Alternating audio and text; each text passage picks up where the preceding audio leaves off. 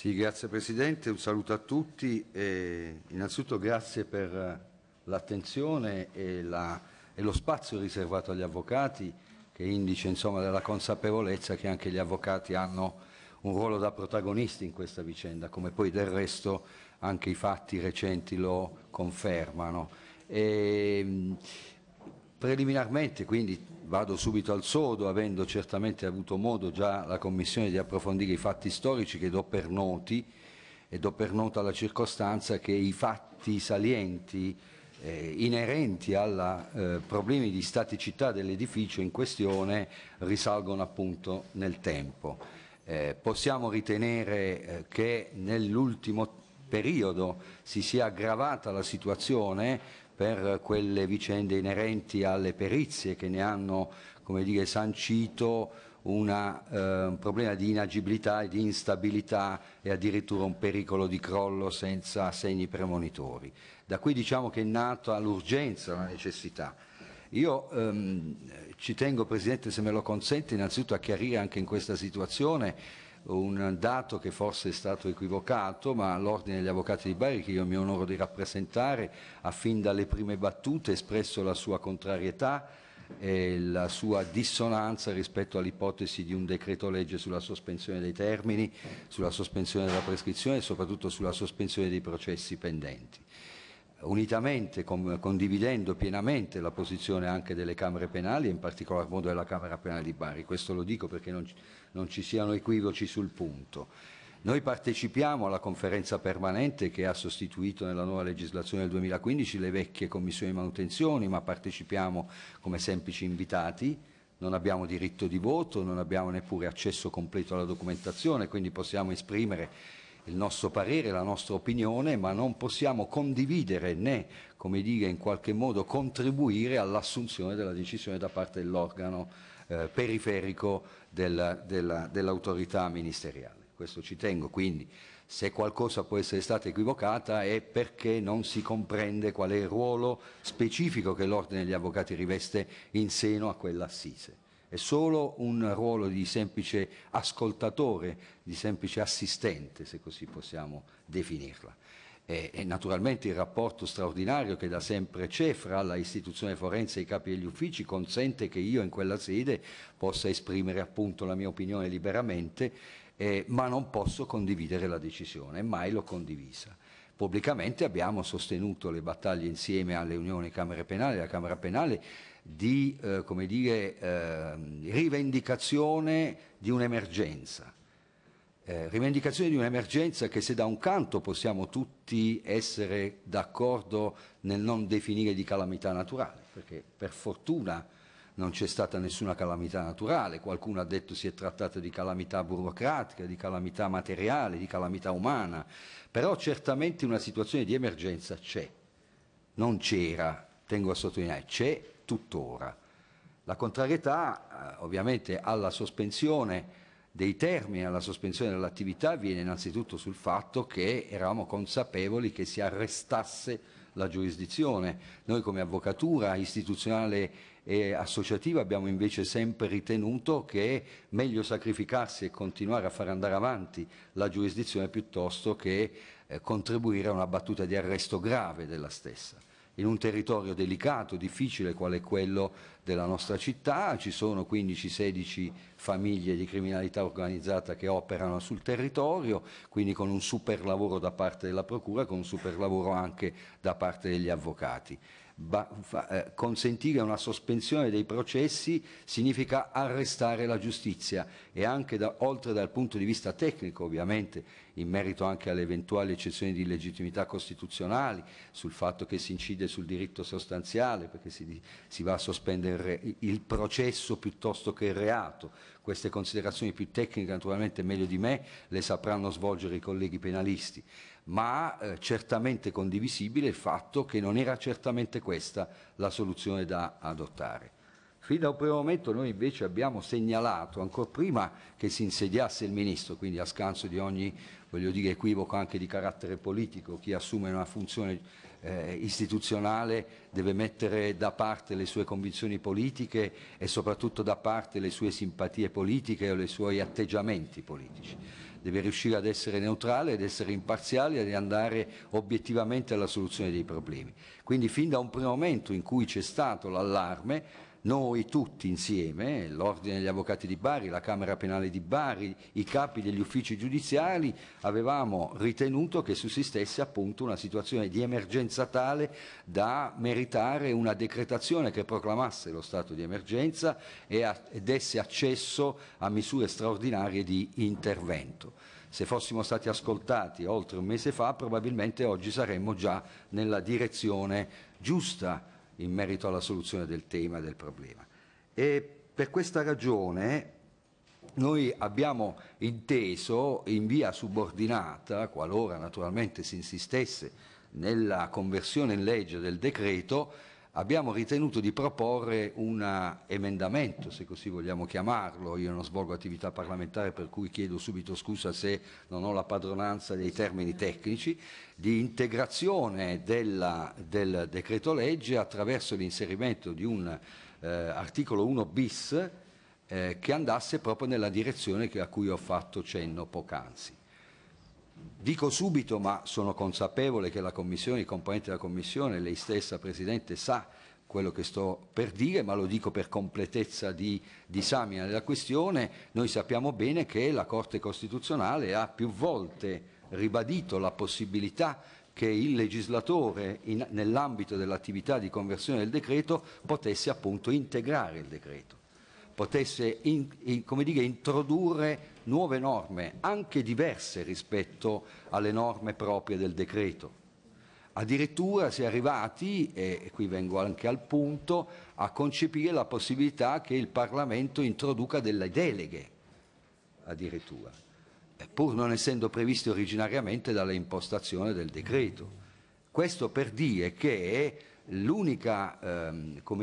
valutazione che va fatta in ordine alla possibilità del Parlamento di modificare il decreto senza stravolgerne l'impianto logico e di scopo è quella appunto di ritenere le modifiche come delle intrusioni o delle cose assolutamente dire, in contrasto appunto con la, la ragione che ha giustificato l'adozione del decreto. Eh, e appunto si è arrivati a concepire addirittura la possibilità che il Parlamento potesse adottare delle nuove norme di legge, diverse da quella della decretazione eh, di urgenza. Ed è per questo quindi che noi abbiamo ritenuto di proporre alla Commissione e al Parlamento, per il tramite di, questa, di codesta Commissione, l'introduzione di questo comma, che altro non fa che andare al nocciolo del problema, che è lo stesso che noi fin dall'inizio abbiamo rivendicato. Noi riteniamo, soprattutto alla luce degli ultimi fatti, delle ultime circostanze,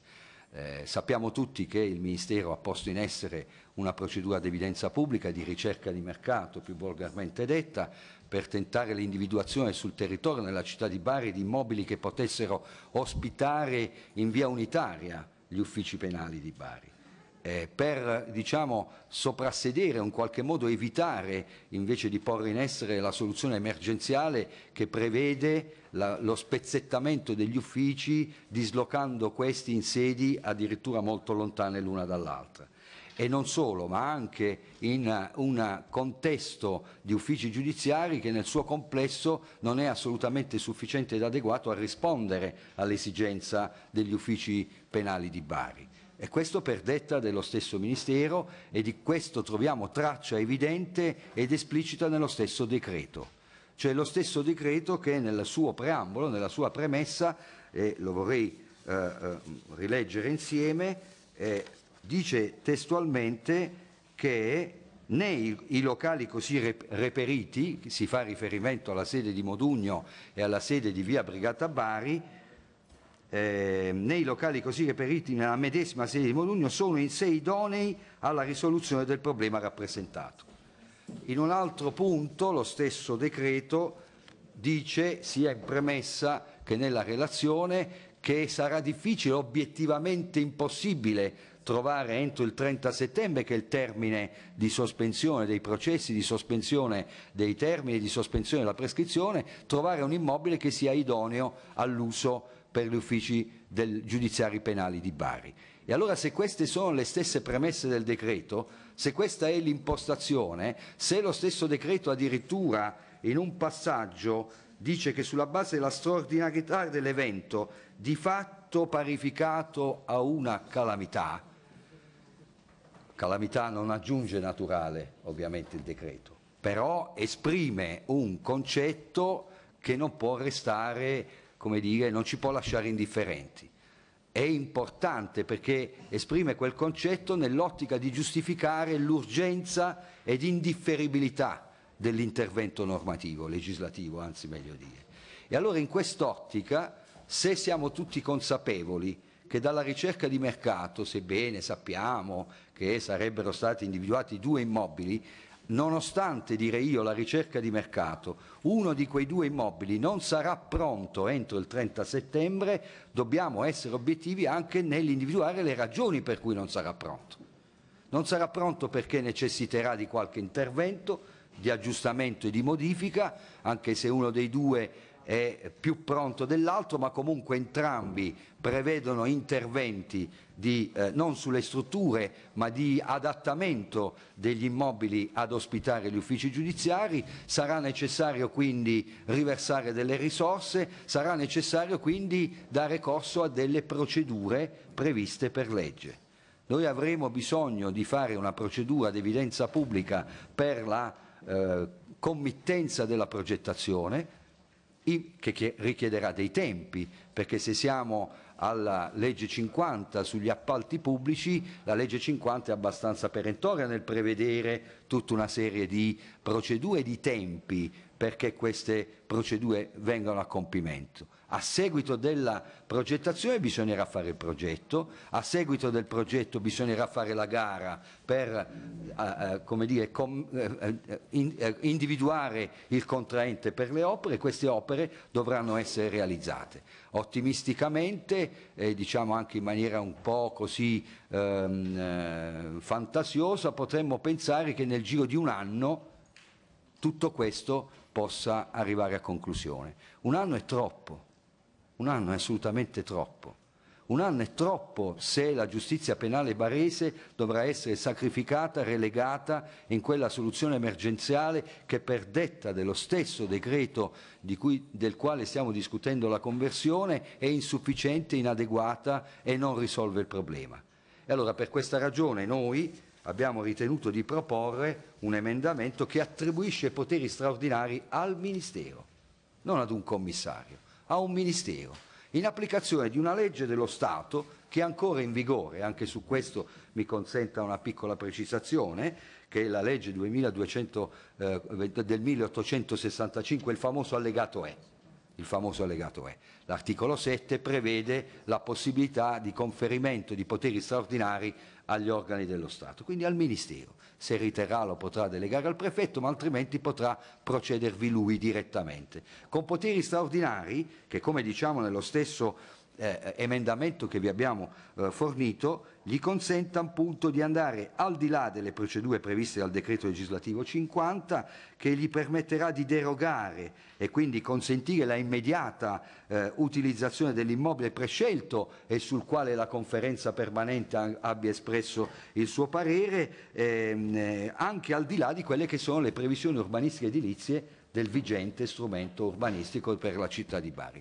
Perché questi erano i temi che nella precedente ricerca di mercato che si era celebrata un po' di tempo fa non si era riuscito a individuare l'immobile, perché quegli immobili che erano venuti ad evidenza appunto erano privi della conformità urbanistica. Quindi attraverso questo modesto intervento che non toglie nulla a nessuno, anzi restituisce, credo, concretezza e obiettività alla soluzione del problema, noi riteniamo che si possa eh, entro il termine assegnato dal decreto di cui stiamo discutendo,